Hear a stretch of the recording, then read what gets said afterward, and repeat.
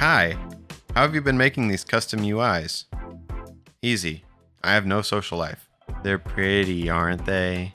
So for all my fellow Minecraft junkies who want to show off their sick custom UIs, you need to locate your .minecraft folder. Then you need to type this into the text box, which I'll have right down there, right in the description, and then click OK. For Mac users, this may be a little different. Then you need to locate your versions folder and open it. You need to find the folder for the version of the game that you plan to play. For me, that's 1.19.2. I know, I know. Chat reporting. I'm sorry. I'm sorry. But I gotta get that allay duplication. Come on. In the folder, you'll find a jar file name for 1.19.2 or whatever version you're looking for. You're gonna need to copy this file. Then click back to the .minecraft folder. You'll need to find your resource packs folder and open it. Then create a new folder and name it whatever you want the resource pack to be named in game. I'm gonna name this one Tease UI because I'm gonna be making a custom UI for Tish7 today, one of our fellow block breakers on the block breaking SMP. Go check us out. Now you can open that folder and paste that version file from before. You'll now need to extract that file so we can access its contents. Click OK. You can now open that new folder and copy the assets folder. The assets folder is the only file we need from this folder. You can now paste the assets folder in. This will take a while, so let's speed that up. We don't need these other two files, so you can delete those now. Next, you'll need to locate your notepad. Again, if you're a Mac user, this may be a little different for you. So on the notepad, you're gonna be writing in a code that's gonna be basically telling Minecraft that this folder that you have is a resource pack.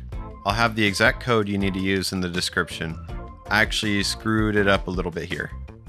Depending on what version you plan to use this resource pack on, the pack format number may be a little bit different for you, and you can find that number you need on the Minecraft wiki which I'll link down below. For the description, you can type anything you want between the parentheses and it'll show up right below the resource pack name in the game. Now go to File and then Save. For the file name, it'll need to be written as pack.mcmeta, and then click Save. You can now close out a notebook. Open the assets folder from before and you can delete everything but the Minecraft folder. Now open that Minecraft folder and you can delete everything except for textures. You see in a pattern here? Now open the textures folders and you can delete everything but GUI. And now open that folder and you can delete everything except for icons because that's the only file we're going to be changing textures for in this video. Now right click on the file and hover over open with and click Photoshop. If you don't have access to Photoshop, there are free alternatives you can use like, let's say GIMP, which I'll leave a link for down below. You can zoom in and you'll notice each icon is split up into each of its different states. You can drag over the different icons with your marquee tool to see the different dimensions and these are very important to keep in mind and the placement of each of these icons is very important as well. You'll notice with the vanilla texture 16 by 16 that the outlined items are 9 by 9 and the items that aren't outlined are 7 by 7. When we edit the hunger bar later in this video, it'll be very important to keep that in mind. So I'm going to pull up Discord so I can read you exactly what T is looking for with her UI. Alright, so she wants purple hearts and XP bar that matches her profile picture and she wants teacups for her hunger bar. Makes sense. So I'm going to take a screenshot of her profile picture with the snipping tool so we can get the color exactly how she wants it and I'll save that to my desktop. I'm also going to open this image with Photoshop as well. I go back to my icons tab and use the rectangular marquee tool to select the vibrant red part of the heart. If you're not particular about the exact color, you can just select everything and change the color settings of the hearts. Like hue, brightness, etc. Uh, you don't need to worry about uh, going and finding exact colors or anything like that. This won't apply to you. It, it will take you a significantly less amount of time to do that. I then go back to my reference image and use the eyedropper tool to select the purple that T is looking for. I go back to the icons tab and use the paintbrush tool to fill in the selected area with the color I just selected. But you can use the paint bucket tool as well, it's up to you.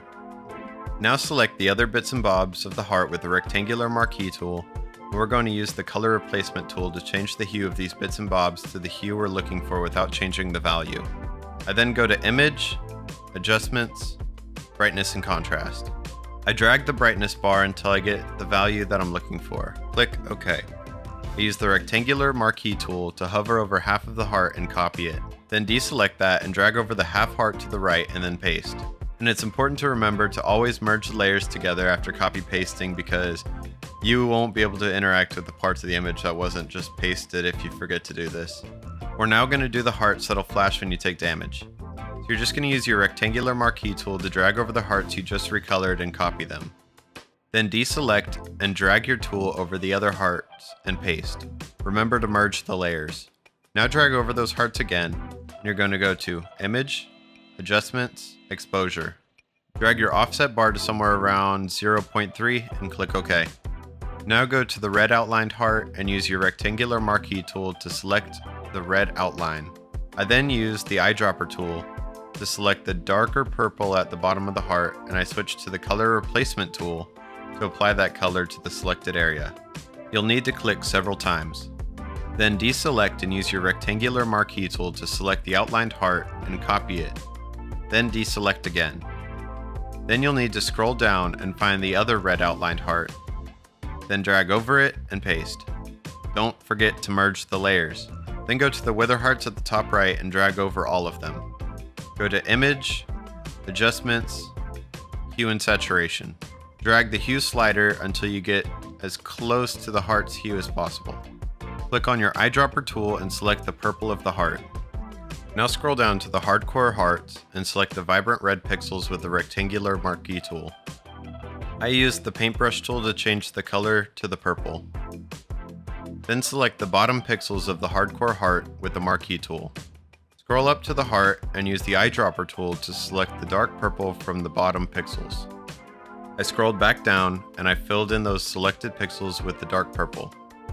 Then select the dark red pixels on the hearts with the marquee tool.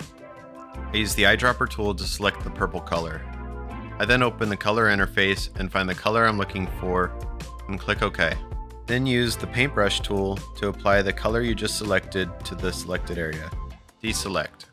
Drag over half the heart like you did before, and then copy it and deselect. Drag over the half heart and paste. Merge layers. Drag over both hearts and copy. Deselect. Drag over the hearts to the right like we did before. Paste. Merge the layers. Drag over those hearts and go to Image, Adjustments, Exposure. And then drag the offset slider to somewhere around 0.3 like we did before. Deselect. I realize now that I forgot to do the hardcore wither hearts because I'm Anubis. But now we're going to move on to the experience bar. Use your marquee tool to drag over both the empty and full experience bar. Go to Image, Adjustments, Hue and Saturation. Drag the hue slider until you get your desired color and click OK. Deselect. It was that easy? Wow. Now we're going to do the hunger bar and I'm going to be designing teacups.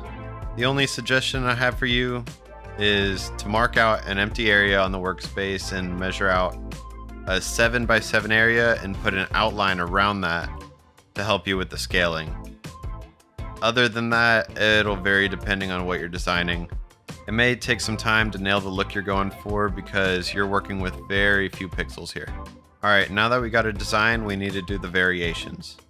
So for the half-eaten hunger to the right, I'm going to design it to where you can't see the tea and the cup, but for most designs, you could probably get away with cutting it in half in some fashion. Get your marquee tool and drag over the two hunger icons. Copy, deselect, drag over the icons to the right, delete, paste, merge the layers. Drag over them again, image, adjustments, exposure. Again, drag the offset slider to somewhere around 0.3. Okay, deselect. Drag over the spoiled hunger bars and delete. Paste. Merge the layers. Now you're going to want to make whatever you design look spoiled in some way. You'll see this hunger icon in game when you have the hunger effect. For these teacups, I made the tea look like a green sludge by adjusting the hue, saturation, and lightness. Copy paste the teacup to an empty part of your workspace. Use the marquee tool to select the pixels outlining the design. There can be some designing involved with this as well, like for this design, I decided to accentuate the roundness of the teacup at the bottom with a couple extra pixels. Fill in those pixels with white as well. Copy and paste it over the white outline hunger icon. And don't forget to delete the previous icon. Merge the layers. Use the eyedropper tool to select the red color in the next hunger icon and then paste over it. Select the outline pixels and replace the color with the red you selected. Paste over the next icon as well. Select the pixels inside the outlines of these icons you've just pasted. Now use your eyedropper tool to select the gray from the inside of the icon to the left, and fill that color into those pixels you've selected. Now copy one of the outlined icons and paste it over the black outlined hunger icon. Select the outer pixels and recolor them to black. Copy that black outlined icon and paste it over the hunger icon below. Copy the normal teacup and then paste it into the center of the black outlined hunger icon. Go to Edit, Transform, and near the bottom you'll find flip horizontally and click that. Now we're going to replace the hunger effect icons at the very right, and you probably now know how to do this, so I'll save us the headache of having to go through that explanation again. Once you get that done, you can go ahead and export the file by going to File and then Export. Click Export As, keep everything exactly the same, and click Export. Keep the file name as icons and keep it as PNG. You can now locate your GUI folder again and replace the old icons PNG with the new one. Everything's done, so you can now load up Minecraft and see how it looks in game. It looks like I may it looks like I may have moved my workspace by accident. I'll be right back. Alright, that's better. Here they are. Hopefully uh, T likes it. I talk like I'm getting paid to do this. Alright, that that's it. That that's the video. Now get out of me swamp. You'll need to find something else to watch because this video is over. These Captain Kai you can't deny, so just unwind and press subscribe.